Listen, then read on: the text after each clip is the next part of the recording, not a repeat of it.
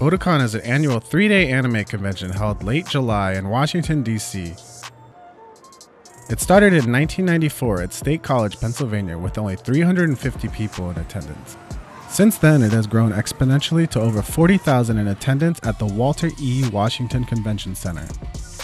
It is an anime lover's Burning Man. It's the creme de la creme. I decided to go and see what it was all about, but first, I needed to get an interview. Hey, you want to do an interview? How's it going? Want to do a quick interview? Quick interview? Quick interview? Quick interview? You want to do a quick? Is that Kevin? Want to do an interview? You want to do an interview? You want to do an interview? Hey, how's it going? You want to? Nobody wants to do an interview. Would you want to do an interview for DC TV? It's public access. Get out of my face. After many failed interview attempts, I decided to try my luck in the game room. They had all sorts of games, from an adventure chess game to Super Smash Bros. to whatever this Rubik's Cube game is. Have you all played together before? No.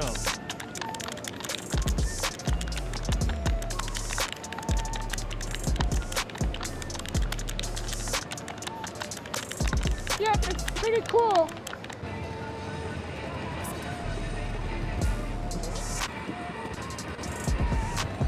Never mind, he's too good. What's your name? I'm Douglas. My luck was running short. I felt a little defeated. I stopped by the manga library to learn a little bit more about the culture. Maybe there was something that I was missing, something I couldn't quite see. Then I sat down and I watched a whole episode of anime. And in that moment, I decided I'm gonna go and interview the very first person I see. All right, we are here with. I'm Alex. Hey, Alex. Uh, where are you from? I'm from the Nova region. Yeah, Northern Virginia. Cool, cool. Uh, what are you most excited about for this weekend? I'm super Oh, wow. excited to check out- I'm doing it. This I'm actually interviewing somebody. This is going so well. I can't believe this. Why why was I having such a hard time? Th- This is my character arc. I, I this this is amazing. I just, oh, oh shoot! I should probably be paying attention to what he's saying. Hurry, ask another question and go interview more people. Uh, what's your What's your cosplay? Uh, government worker on his day off. My name's Zach. Uh, I'm Chad. Noah. My name's Aiden Emery. Matthew, and uh, I'm with Mint and Apple. This is an Amaurotine from Final Fantasy XIV. Ah, seven's better. That's arguable. And what are you cosplayed as? Zelda. So I am Guts from Berserk. Uh, I am Hanako from Toilet Bound Hanako-kun. Um, it's sort of a comedy anime. Um, it's on Funimation, so it's not like super obscure. Uh, what are you most excited to see at Otakon this year? Um, the game room.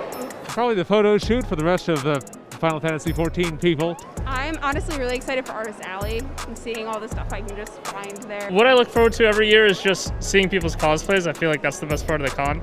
Um, I'm actually excited to see Steve Blum here. He does the voices for like Tom from Toonami, and he did Spike from uh, um, Cowboy Bebop.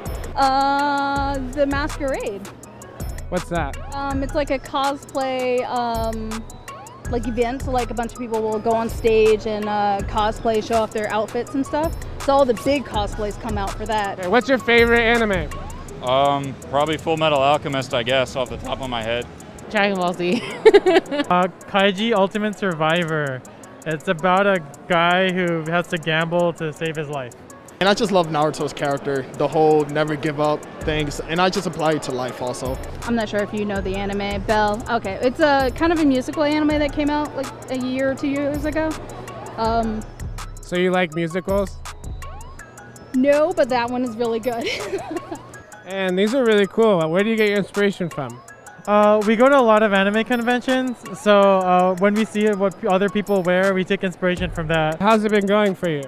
Uh, it's going really well this year. Uh, the attendance is really good, and people are really responding to our new line. So, What would you say to DC TV? Come to Otakon. You heard it here first, folks. I did it. I interviewed a good number of people. Honestly, I'm not sure what I learned about Japanese culture, anime, or even Otakon. All I know is that it was an exciting journey and I met a lot of interesting characters along the way. And honestly, maybe that's what Otakon is all about. This has been Rick with DCTV, signing out.